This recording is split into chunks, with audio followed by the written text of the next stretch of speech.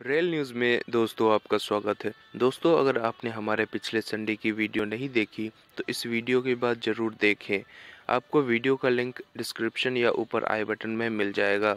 तो वीडियो शुरू करने से पहले, अगर आपने हमारे इस चैनल को अभी तक सब्सक्राइब नहीं किया तो जल्द से जल्द करें, ताकि आपसे मेरी एक भी वीडियो मिस ना हो।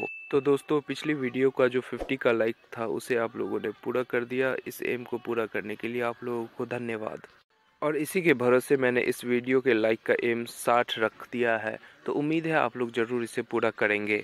तो वीडियो स्टार्ट करने से पहले वीडियो को लाइक ज़रूर करें, आपका एक लाइक मुझे वीडियो बनाने में मोटिवेट करता है। तो चलिए रेल न्यूज़ स्टार्ट करते हैं।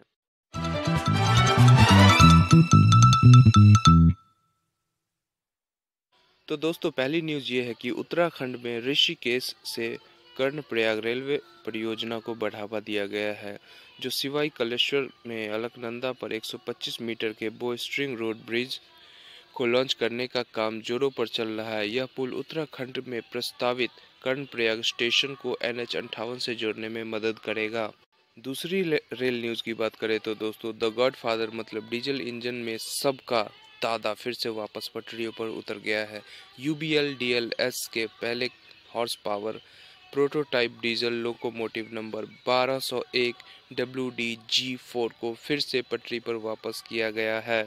आने वाले समय में क्या होने वाला है, पता नहीं, पर इस बात पर आप क्या सोचते हैं, हमें कमेंट करके ज़रूर बताएँ। दोस्तों, तीसरे रेल न्यूज़ में मैं आप लोगों को बहुत बड़ी खुशखबरी देने वाला हूँ, और वो खुशखबरी ये है कि बिहार में भी अब डबल डेकर ट्रेन चलेगी। आप भी दो तल्ला गाड़ी में बैठने का मज़ा ले सकेंगे। लोग बिहार वासियों के लिए एक सुखद समाचार है। साल भर के अंदर पटना में डबल डेकर ट्रेन गुजरेंगी, क्योंकि सरकार की इस योजना पर तेज़ी से काम चल रहा है, और तेजस शताब्दी, गोमती एक्सप्रेस से किराया कम होगा।